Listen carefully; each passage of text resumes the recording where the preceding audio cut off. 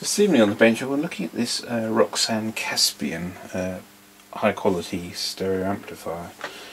Uh, the owner reports it generates a sort of large, it starts to crackle when it's been on for a while. Um, and apparently it's, uh, he was going to send it back to Roksan but never got round to doing it so I, I offered to have a look at it for him so we can work out what's actually wrong with it and uh, give him an idea of what it's going to cost to, uh, to repair it.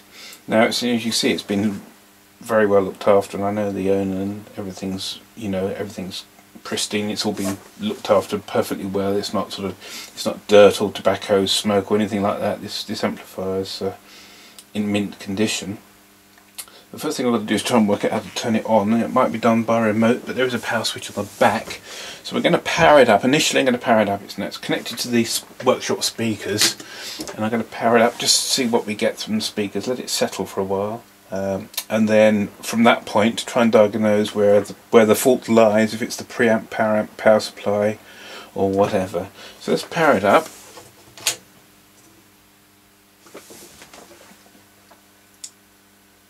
Red light on, I don't know what that means. Okay.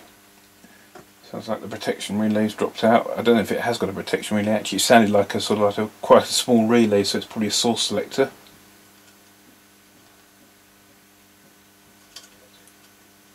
See if we can get any audio from it. Uh,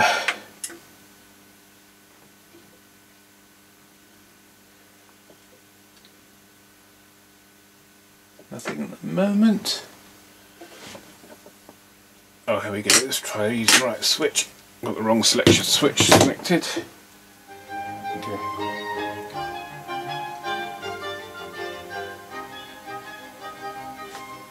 Just run through the selections.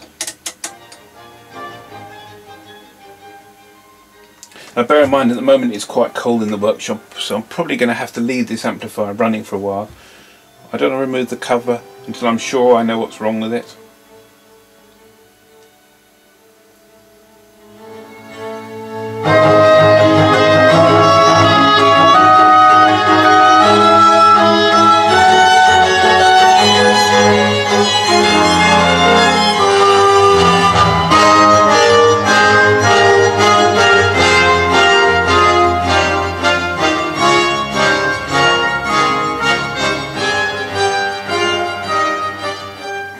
So far so good. No, no problems there. It has. I know it's got preamp, paramp links in the back, but they're well and truly plugged in, so it's not that problem. And that mode switch looks like an attenuator. So turn the attenuator off.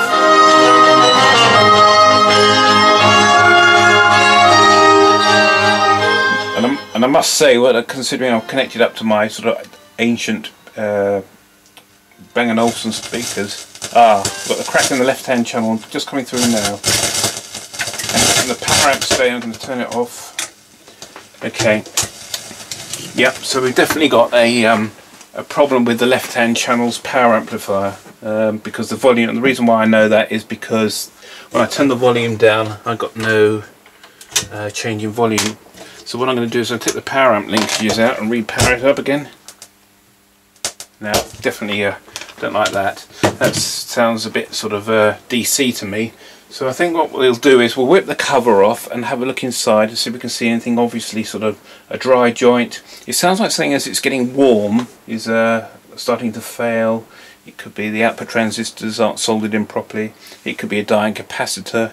Uh, but until we get the cover off uh, we won't know.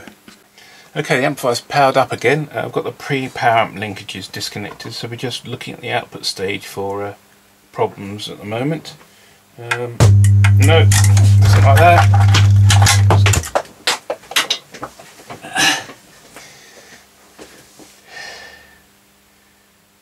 So that sounds like the output stage has gone short. Now that's interesting.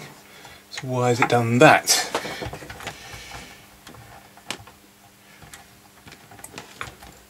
So there's obviously serious, a serious problem with either a capacitor in this thing. Uh, so I need to, what I need to do is I need to put a DC blocking capacitor in the in the speaker line to uh, prevent it from uh, blowing my speakers up because it also hasn't got a protection relay.